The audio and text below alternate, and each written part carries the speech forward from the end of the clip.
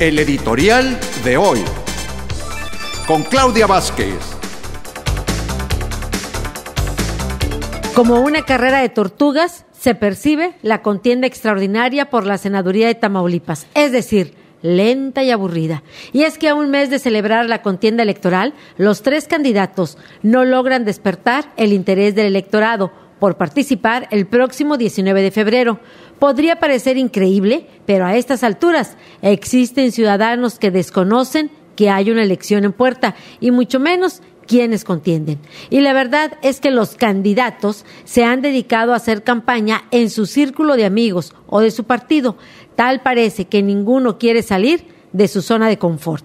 El trabajo de promoción lo dejaron en manos de la autoridad electoral pereza, apatía o conformismo, lo cierto es que ninguna de las figuras ha logrado despegar.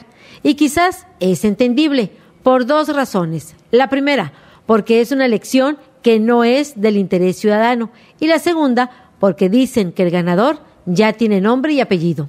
Así que solo esperan que las estructuras hagan su trabajo y quizás así sea. Lo criticable del caso sería la pérdida de tiempo y los pesos que esto representa, porque la elección tendrá un costo de poco menos de 200 millones de pesos. En fin, la ley se tiene que cumplir y en este caso hay que llevar un senador más a la Cámara Alta. No importa que la participación sea baja ni cuánto le cueste al erario. ¡Viva la democracia!